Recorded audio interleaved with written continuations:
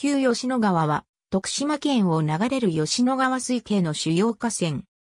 かつては、吉野川の本流であったが、1672年に、八須勝名通りによって行われた、吉野川と、かつて存在した別宮川とを最短距離でつなげる、治水事業によって、別宮川へと川の流れが変わり、現在の旧吉野川にあたる河川の水量は激減した。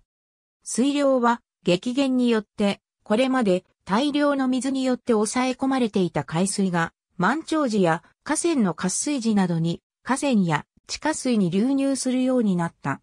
水不足に加え、塩害が頻繁に起こり、米をはじめとする農作物が育たなくなり、収穫量が激減、農民が脱走する事例が相次いだ。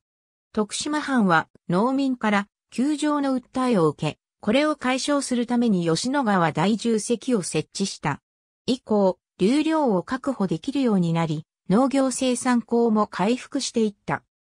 1932年に、これまでの別宮川へと流れる河川を、吉野川に、吉野川大重石地点から流れ込んでいた吉野川を、旧吉野川に名称が改められ、今日に至っている。1973年には、サメ浦ダムの建設に関連して、潮止めとして、旧吉野川川口関の建設が着手され、1975年に川口関が完成した。環境基準をほぼクリアしており、多種の魚が生息しており、釣りのスポットとなっている。しかし、近年は、オダク物質量が増加している。